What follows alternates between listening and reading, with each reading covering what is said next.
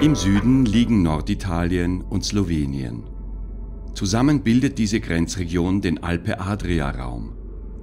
Das Gebiet bietet eine Naturkulisse, die in allen Jahreszeiten besticht.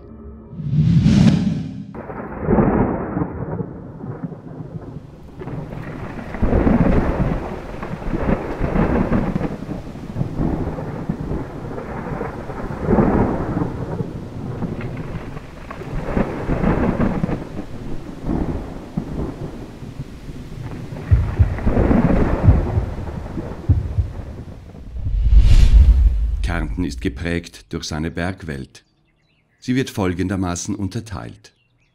Die südlichen Kalkalpen ziehen sich entlang der Grenzregion zu Italien und Slowenien. Im Norden erheben sich die Zentralalpen. Dort befindet sich auch der höchste Berg Österreichs, der Großglockner.